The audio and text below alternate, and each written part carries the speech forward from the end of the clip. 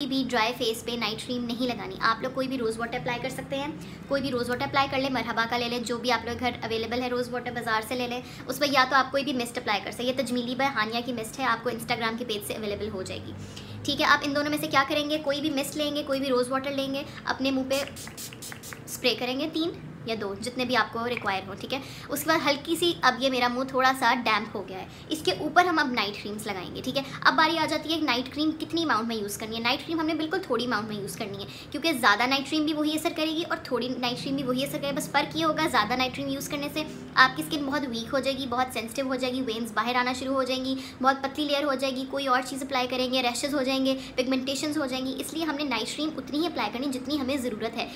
ज़्यादती हर चीज़ की बुरी होती है, इसलिए थोड़ी ही अप्लाई करें। अच्छा जी, मैं जो नाइट क्रीम्स यूज़ करती हूँ, एक तो एवेंटॉन सी क्रीम है, ये मेडिकल स्टोर से आपसे थर्टीन फिफ्टी की मिल जाएगी एवेंटॉन सी क्रीम ठीक है? जो दूसरी है फेयर एंड पिंक क्रीम है, ये आपको मेडिकल स्टोर से फाइव सेवेंटी की मिल जाएगी। अब देखते हैं कि हमने नाइट क्रीम कितनी यूज़ करनी है।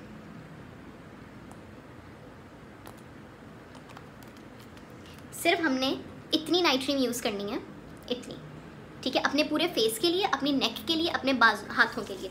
हाथ पे रब किया मुँह पे मिस लगाई हुई है। अब हमने अपने मुँह पे लगा ली, गर्दन पे लगा ली, गर्दन के पीछे लगा ली, यही हाथ अपने हाथों में फेर लिया और बाजों में फेर लिया। ठीक है दैट्स इट इससे ज़्यादा हमने नाइट क्रीम्स नहीं अप्लाई करनी। अब बारी आ जाती है कि नाइट क्रीम हमने कितने दिन लगानी है स्टार्ट करनी है और क्या क्या इसका प्रोसीजर है। देखो, जब आप लोग ने नाइट क्रीम यूज़ करना शुरू करनी है ना तो आप लोग ने 20 से 25 डेज़ रेगुलर यूज़ करना है, क्योंकि एक महीने के बाद स्किन आपकी रिपेयर होती है। एक महीने से पहले आपको रिज़ल्ट नहीं मिलता, कोई भी आप लोग चीज़ लगा लो। ठीक है, आपने twenty to twenty days regular वो क्रीम इस्तेमाल करनी है, उसके बाद आप लोग ने अगले महीने एक दिन का गैप डाल देना है मतलब सेवन डेज़ में से सिक्स डेज़ आप लोग ने लगानी शुरू कर देनी है। उस दिन के बाद फाइव डेज़ उससे अगले महीने फोर डेज़ फिर आपने फोर डेज़ पे स्टक हो जाना। वीक में सिर्फ़ चार दफ़ा आप लोगों ने नाइट क्रीम्स लगानी है, इससे ज़्यादा अप्लाई नहीं करनी। होती इसलिए हमने आदत नहीं होने देनी स्किन को किसी भी नाइट क्रीम की। वीक में चार दफ़ा यूज़ करोगे, इससे आदत नहीं पड़ती। और जो सबसे इंपॉर्टेंट बात है, आप लोगों ने नाइट क्रीम्स दो रखनी है, जिस तरह के मैंने एवन सी क्रीम एक रखी हुई है और एक फेयर एंड पिंक रखी हुई है। एक दिन मैं ये अप्लाई करती हूँ, दूसरे दिन मैं ये अप्लाई करती हूँ। वीक में चार दफ़ा चार दफ़ा नहीं तो तीन दफ़ा तो लाजमी आप लोग अप्लाई कर लें। ठीक है क्योंकि हमने इसलिए दो रखनी है। देखो कोई भी ब्रांड कभी भी ब्रांड बंद हो सकता है। उसके बाद कोई भी शॉर्टेज हो सकती है। जहाँ रहते हो वहाँ पे क्या पता क्रीम अवेलेबल कुछ देर के लिए ना हो।